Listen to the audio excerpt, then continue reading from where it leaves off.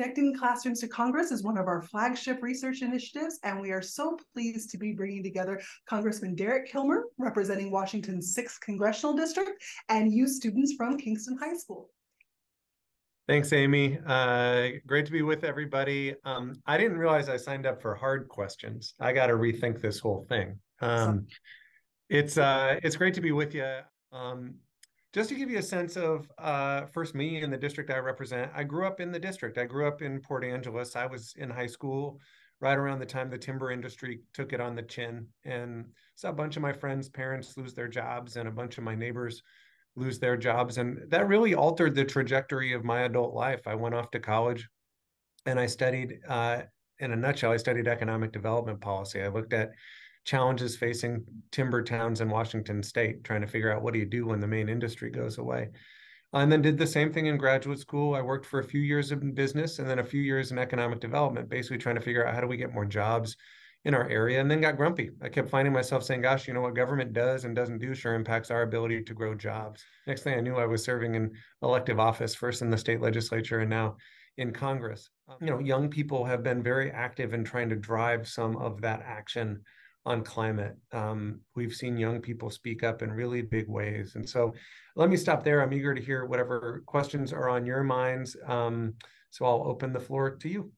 Yeah, I just want to say welcome to Kingston High School. My name is Ava, and I was wondering, as someone who grew up in the Olympic Peninsula, how did your childhood affect your policies on the environment?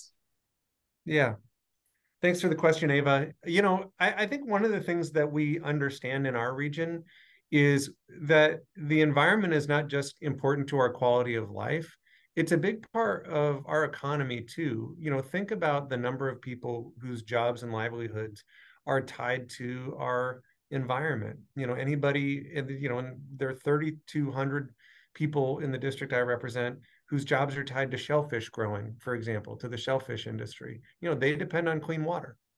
Um, they also depend on us doing something about the climate crisis because ocean acidification is affecting how oysters form their shells, just as an example. You know, we, have seen far more severe wildfires that impact the health of forests and the health of the timber industry. Um, you know, our private landowners are seeing massive wildfires that are just devastating in terms of future jobs. Um, I had a question about greenhouse gases are one of like the leading reasons in climate change like everywhere. And i wanted to know if there's anything we need to do to improve like public transportation to decrease those.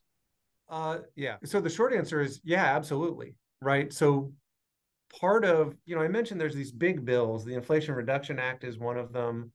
Um there was also a bipartisan infrastructure law that is one of them.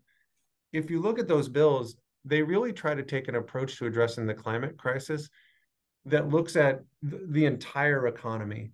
And that includes greenhouse gas emissions from every sort of sector of the economy.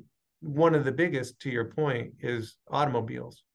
And so part of these big bills is recognizing that emissions that come out of tailpipes is a very significant con- contributor to greenhouse gas emissions and that if we can you know sort of cut that off at the pass that that can help um, be part of the solution to the climate crisis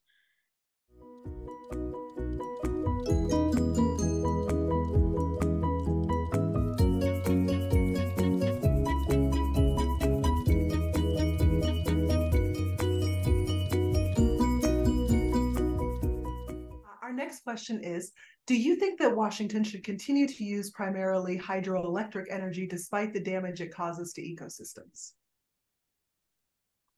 You know, it's a the hydropower is a big slice of our energy production pie in the state of Washington. There is very substantial effort, and there's an article about it in the paper today about research to try to mitigate the environmental impact of hydro.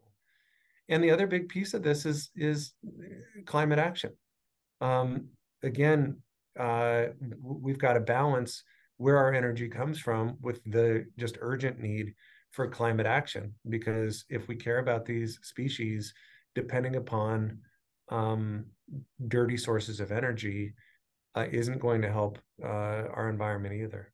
Um, so assuming that we do make the switch to nuclear power, uh, how could those who support the decision help smooth the process of transition?